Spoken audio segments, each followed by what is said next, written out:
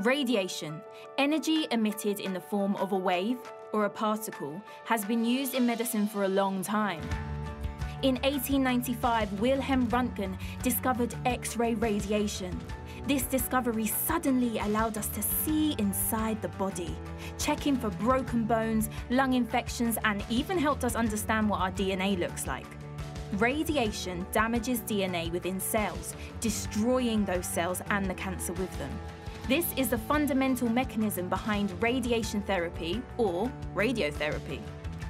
There are many different types of radiotherapy, which are all used to target different types of cancers in various locations throughout the body.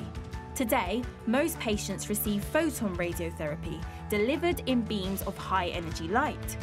The future is looking bright as researchers work with patients and clinicians to develop amazing new ways of delivering safer, more effective, and personalised cancer treatment that is tailored to individual patients. Because let's face it, we are all different. This way, we maximise treatment effectiveness and minimise side effects.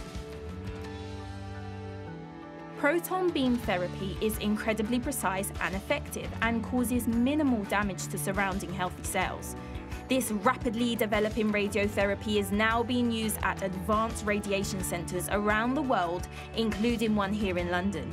From internal radiotherapy that is injected in the body to target cancer cells, to improving the way cancer cells respond to treatment, even stimulating the immune system to help fight off the cancer, researchers continue to push for new treatments to suit different cancers and people.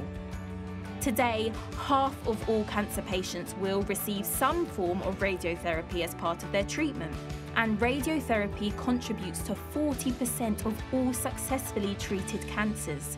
We've come a long way since the discovery of X ray, and we've only just begun.